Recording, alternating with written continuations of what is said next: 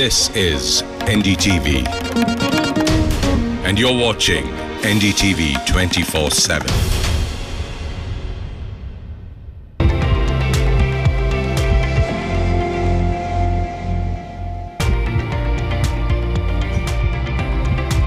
Hello and welcome to our show Health and Wellness Myths versus Facts. I'm Gargi Rawat.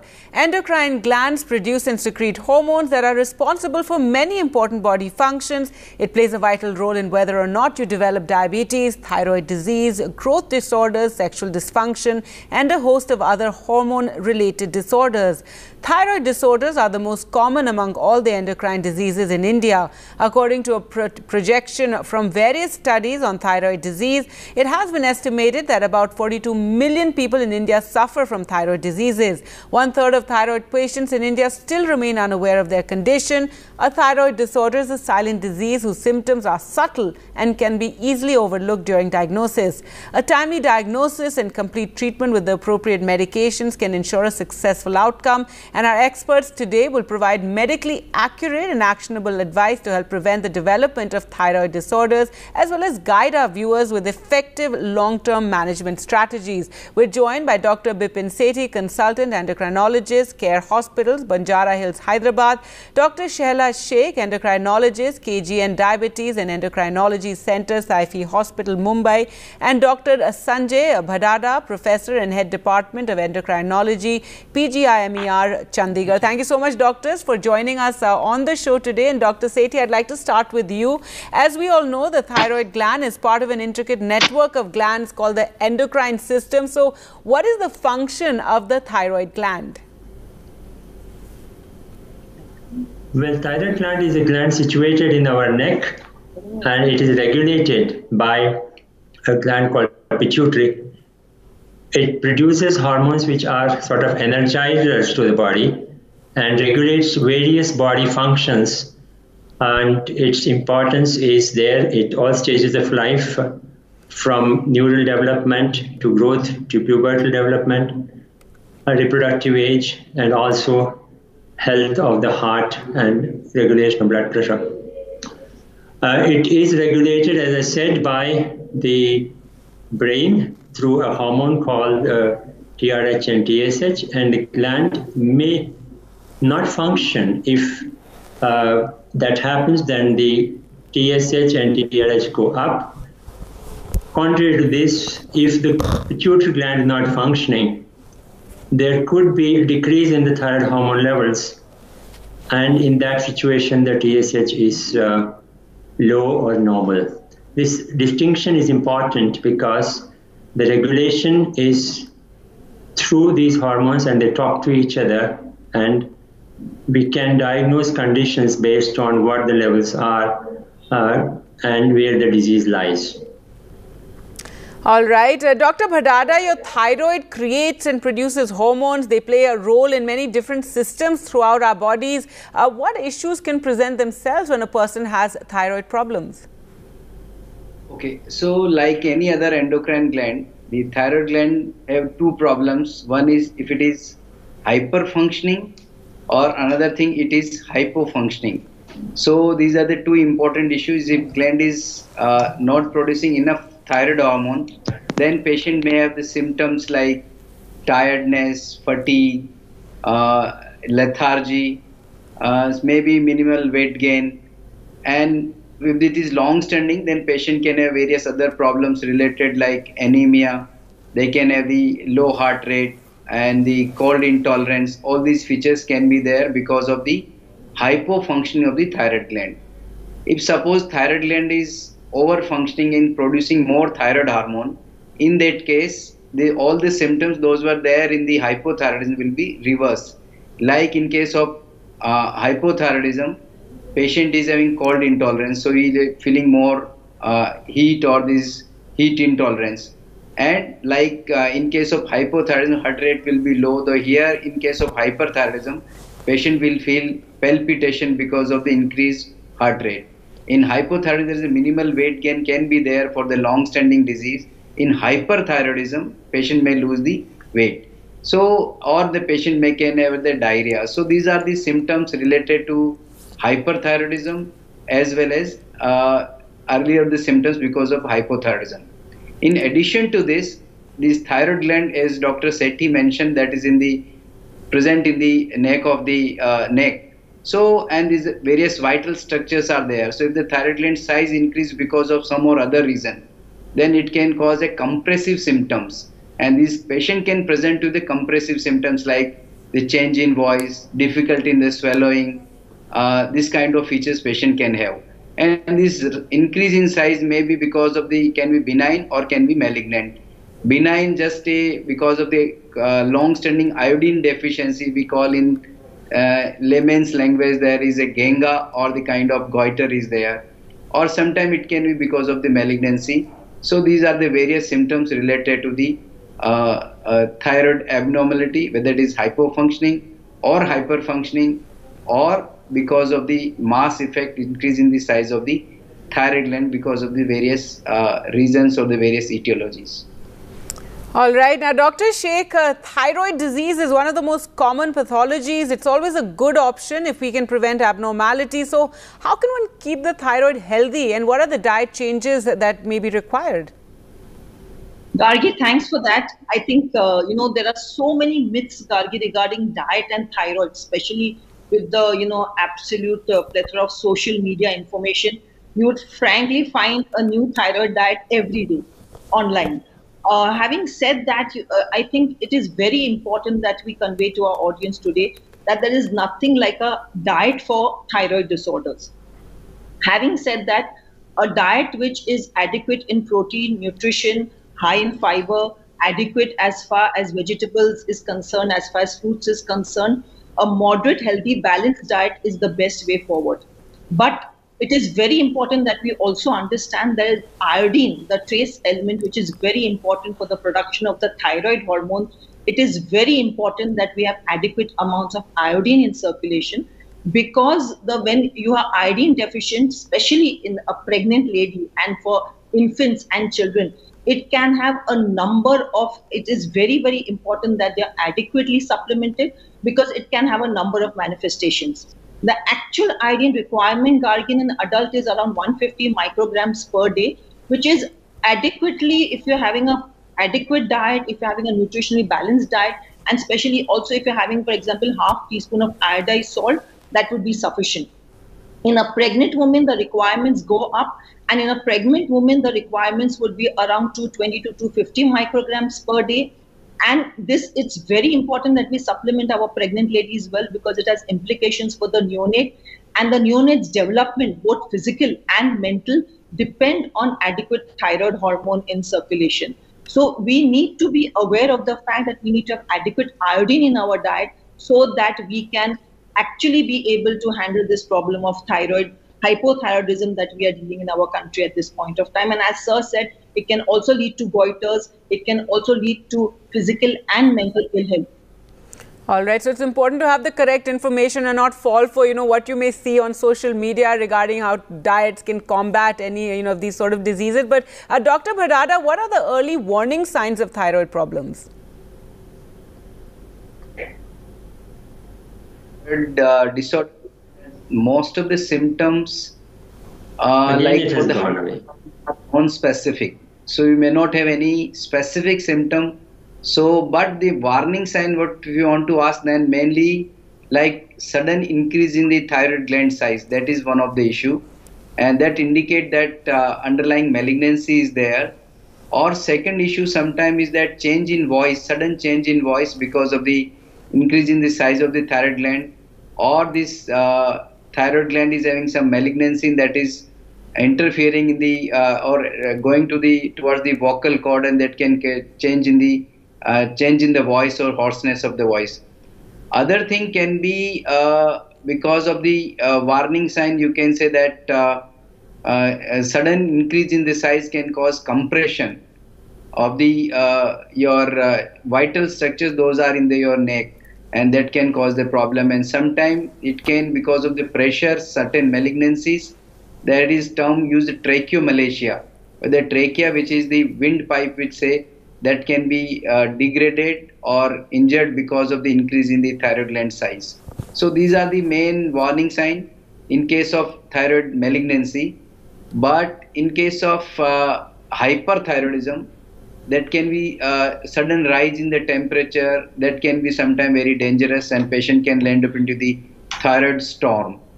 Or in case of hypothyroidism if it is long standing not taken care not looked after then patient can end up into the myxedema coma kind of situation because of the very low thyroid hormone. So these are the certain situations.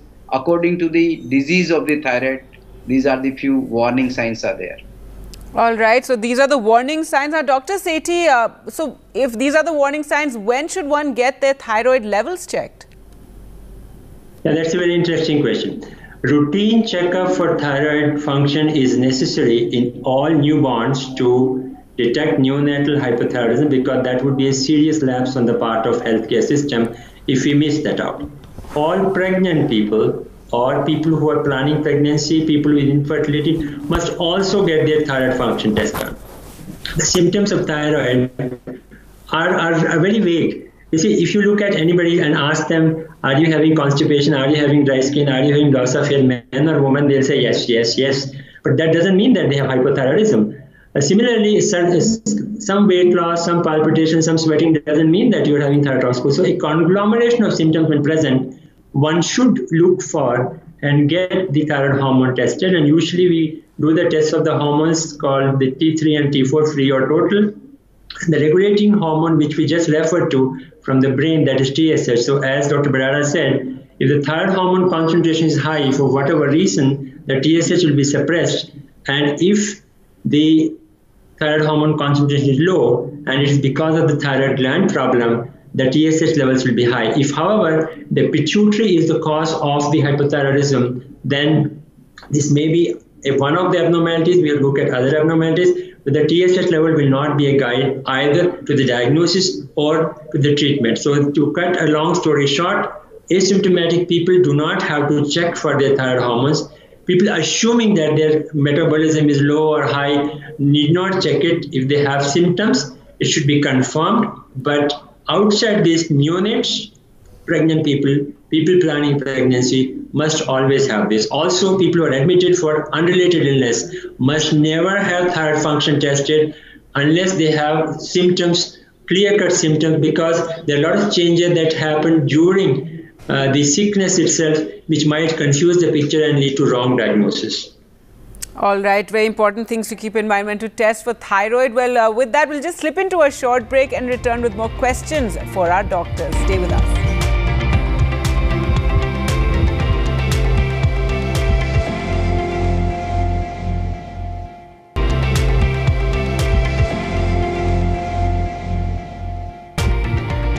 Welcome back to our special health and wellness show. We're talking about endocrine glands that produce and secrete hormones that are responsible for many aspects of our health. And what we don't often understand uh, is, is, how it can cause disease and problems for us. Dr. Shaikh, exercise is a major solution uh, for most uh, non communicable diseases. Can walking prevent or reduce thyroid problems?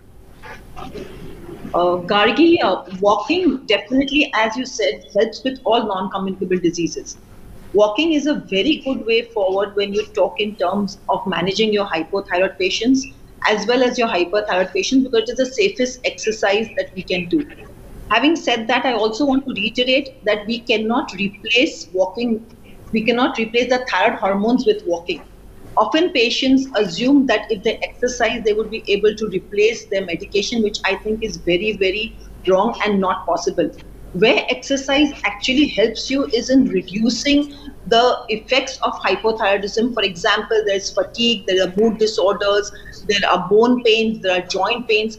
All this helps help in a very, very big way by exercise. So when we are, I mean, when we are advocating exercise, we are advocating it as an adjunct to helping your patients handle their thyroid disorder better. But it is very important that your patient is euthyroid, takes their medication well before they embark on any kind of exercise program because a patient who is not well controlled, either significantly hypothyroid or hyperthyroid, if they suddenly indulge in an exercise program, on the contrary, it can be detrimental to the health and can suddenly land up with some kind of major medical catastrophe, which we definitely don't want.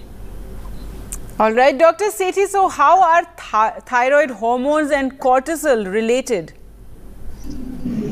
Well, we had in the beginning alluded to the fact that the pituitary gland regulates the function of thyroid hormone. It also regulates the function of adrenal gland, which produces the steroids, glucocorticoids, as also it, it, it, it, influences the function of ovaries and testes. So, uh, thyroid gland and adrenal gland can also be affected by autoimmune process. So these two uh, are the ways in which the thyroid gland and adrenal gland can be affected either by disorders above their uh, in, in the brain regulating the hormones which control their function mainly TSH and ACTH or primarily the autoimmune factors might involve both these glands.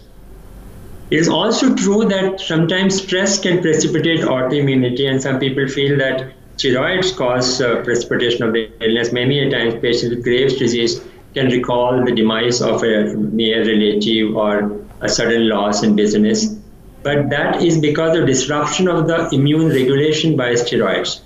So you could have uh, hypothyroidism and hypocortisol state because of disease in the region of pituitary and hypothalamus because the trophic hormones or the regulating hormones are absent and there could also be involvement of both these gland by autoimmune process. And this is important because if you correct only the thyroid condition like hypothyroidism and do not pay attention to the concurrent hypocortisol state that lead to catastrophic sequences consequences because the person whose cortisol production is not enough will suddenly have his metabolism improved and a subtle deficiency with which he was carrying on in life will be precipitated. So this is how these can be uh, related either by an autoimmune process or by a disease of the regulating hormones in the uh, brain or in the hypothalamus or pituitary axis. So that is what is called secondary hypothyroidism, secondary hypocortisol state. The first one is called primary hypothyroidism and Addison's. All right. Uh, Dr. Bhadada, thyroid and diabetes connected. Can thyroid disorders then lead on to diabetes? Thank you, Gargi. I think you asked the most difficult question, but most sought out question because many people wanted to know what is the status or what is the relationship between these two most important endocrine glands because you know the diabetes is most common problem and the thyroid is second most common so if we go by the statistics, since these two disorders are very common, so there is very high likely that even without any relationship, these disease can be there in the each other. Those are having diabetes, they can have frequent thyroid disorders, or those are having thyroid disorders that can have the uh, frequently can they can have the diabetes also. So now, uh, if we talk about diabetes, is of mainly three or four types. One is type 1 diabetes, second is type 2 diabetes, third is gestational diabetes, and the secondary diabetes. But I'll just briefly talk about type 1 and type 2 diabetes. Because type 1 diabetes has a background of autoimmunity, and thyroid disorders also having a background of autoimmunity. So the most common cause of hypothyroidism is related to the autoimmunity as well as for the hyperthyroidism also related to the autoimmunity. So if we'll take a common soil for both as a autoimmunity, then if a patient who is having the type 1 diabetes he is more likely to have the hypothyroidism and also hyperthyroidism. And it is very well documented from the plethora of literature from India as well as from the abroad that patients with type 1 diabetes are having approximately 10 to 15 percent patients are having the hypothyroidism.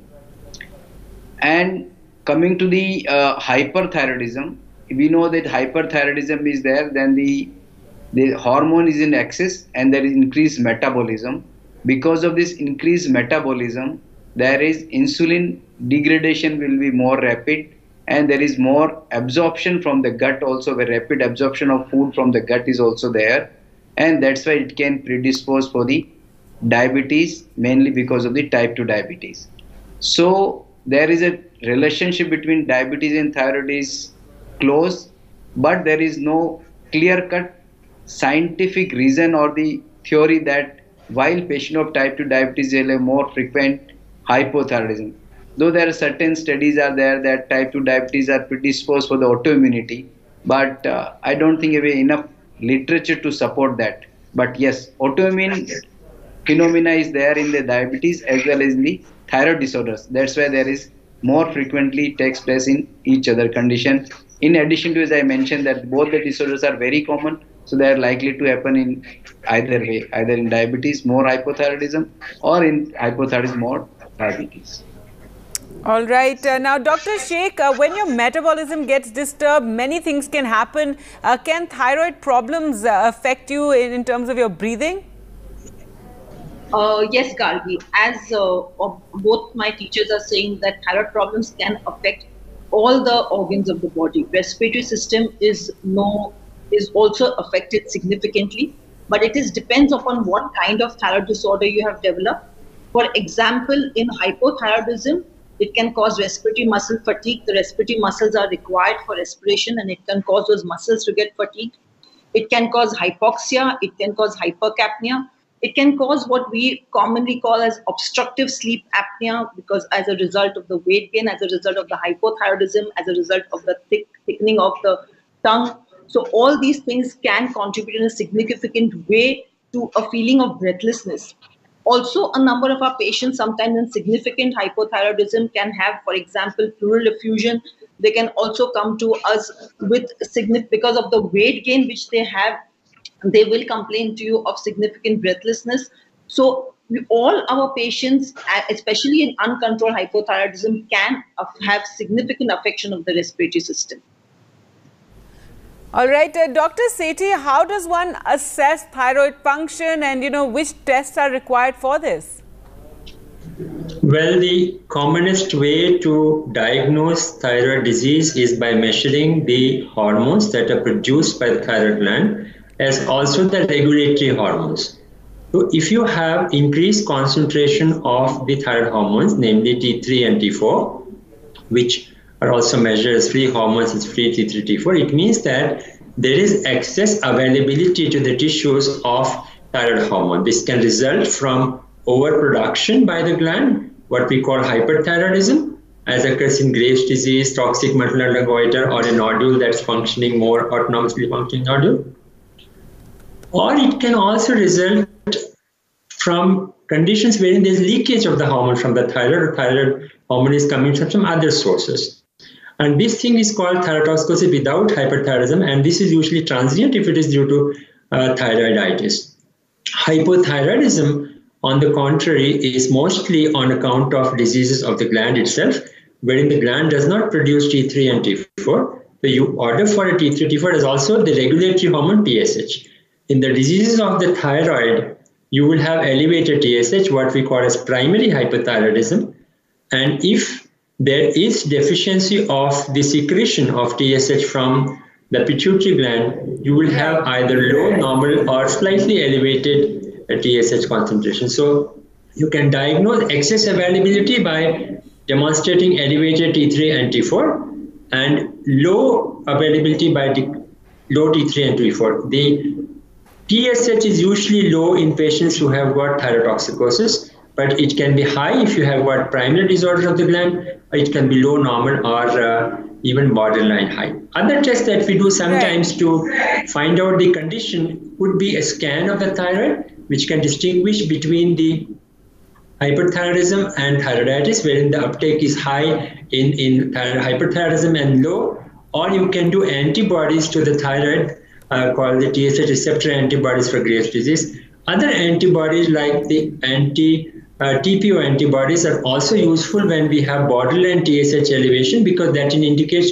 that there is hypothyroidism because of an autoimmune problem. So these are some of the tests that are done. There, of course, other tests are there like you're doing a scan and FNAC when you're suspecting sure. uh, a mitotic process or right. some cancer. But usually, function is assessed by doing the T3, T4, and we get a fairly good idea by doing T3, T4 and TSH. All right. Well, uh, thank you so much, doctors, for joining us today and talking about thyroid disorders and how hormones can affect our health and lots of invaluable information there. Uh, thank you all for watching. Goodbye.